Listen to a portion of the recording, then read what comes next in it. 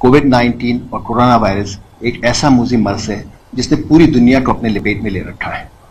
अगर आपने recently travel किया है, अगर आपको खांसी, नज़ला फीवर बुखार नोजिया वॉमिटिंग ऐसी कोई सिम्टम्स हैं तो आपको करीबी हॉस्पिटल या क्लिनिक से रजू करें। हॉस्पिटल आपका कोविड 19 का टेस्ट करेगा और अगर आपको पहले से diabetes lung disease heart failure liver disease kidney disease है तब आपको हॉस्पिटल में एडमिट कर लेना चाहिए। अगर आपको ऐसा कोई मर्ज नहीं है तो आप घर पे या आइसोलेशन सेंटर में 10 से 14 दिन तक रखे जाना चाहिए।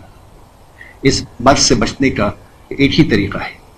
हाथ मुसलसल धोएँ साबुन से और बाहर जाने से परहेज करें। एहतियाती तदाबीर ही इस मूजी मर्ज से बचने का सबसे बेहतर तरीका है।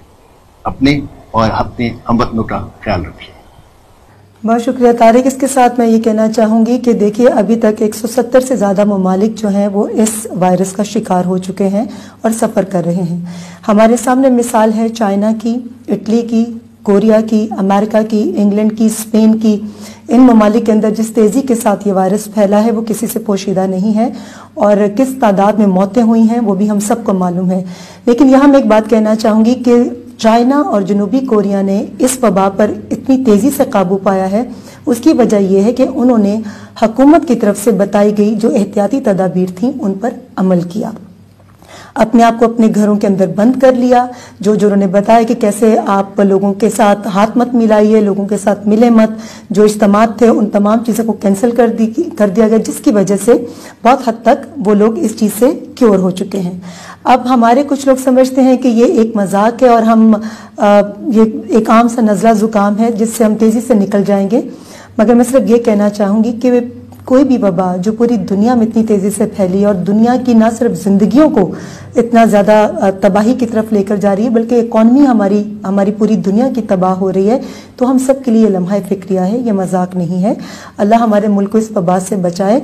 हम क्यों फिक्रमंद हैं? यह हुकूमत पाकिस्तान हम पर जो पाबंदियाँ आयद कर रही है, वो हमारी बेहतरी के लिए है, वो क्यों है? क्योंकि इससे सबसे ज़्यादा लंग्स जो हैं वो मुतासर होते हैं, सांस लेने में प्रॉब्लम होती है। और उस चीज़ को बचाने के लिए वेंटिलेटर्स का होना बहुत ज़रूरी है।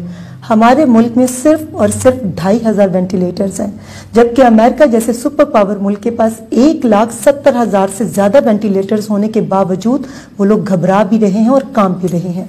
तो हमें क्या चीज़ बचा सकती है? बेशक हमारा तवक्ल हमारा ईमान, मगर उसके साथ साथ एहतियाती तदाबीर। इसलिए एहतियाती तदाबीर इख्तियार करते हुए हुकूमत पाकिस्तान ने जो कुछ हमें कहा है